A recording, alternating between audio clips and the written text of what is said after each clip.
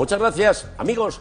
Las vacaciones de Navidad se acercan lenta pero inexorablemente. Y como sabemos que en esta época de descanso y de relax muchos os sumergís en el mundo de la literatura, hoy, en el intermedio, vamos a realizar una lectura con la ayuda de ese señor que tiene una voz que impresiona.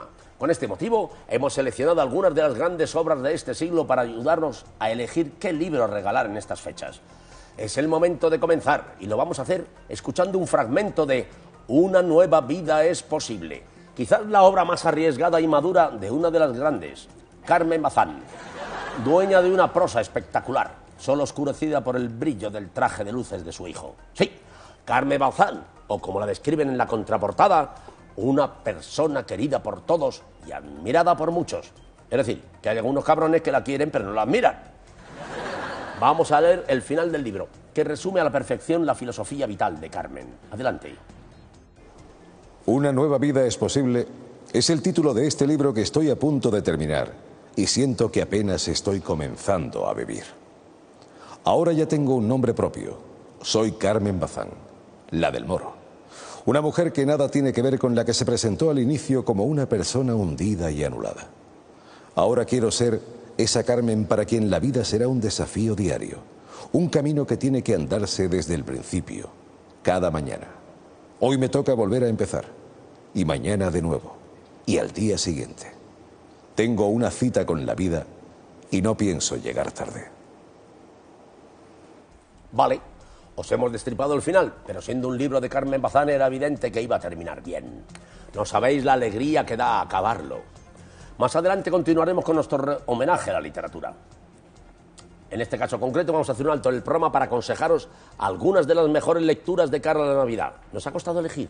Estábamos dudando entre Bloody Miami, la última novela de Tom Wolfe, máximo exponente del nuevo periodismo norteamericano, o el ya clásico de la literatura moderna, Ambiciones y Reflexiones de Belén Esteban. Supongo que no hace falta deciros lo que hemos elegido. Escuchemos un, un pequeño fragmento de la página 63 en el que Belén nos abre su corazón y nos habla del que fue su gran amor, Jesulín de Ubrique. Capítulo 6. Un mundo nuevo. La verdad es que soy una persona muy emotiva y siempre me he rodeado de grandes emociones en mi vida. Casi me compararía con la protagonista de una novela romántica. Lo que nadie se podía esperar es que me liara con el Jesulín. Cuando se lo dije a mi familia, después de lo de las llamadas, mi padre no se lo creía, hasta que vieron que era verdad. Pero, ¿dónde vas tú con Jesulín, chica? me decían todos. En aquel momento Jesús era una persona muy conocida en toda España, famosísimo, y las tías se lo rifaban. Recuerdo una vez en Granada, en una corrida de esas solo para mujeres, que cerró el Hotel Meliá entero para él y para su gente, para estar más a gusto. Había una francesa que le seguía, una señora ya mayor, que le dijo un día que qué quería que le regalara. Y le dio a escoger entre un cuadro de Picasso y un Mercedes deportivo. Y el tío cogió el Mercedes. Sí. no es tonto. Bien, se nota que a Bedel le jodió quedarse sin el Picasso y por eso no dejó de operarse hasta convertirse en uno.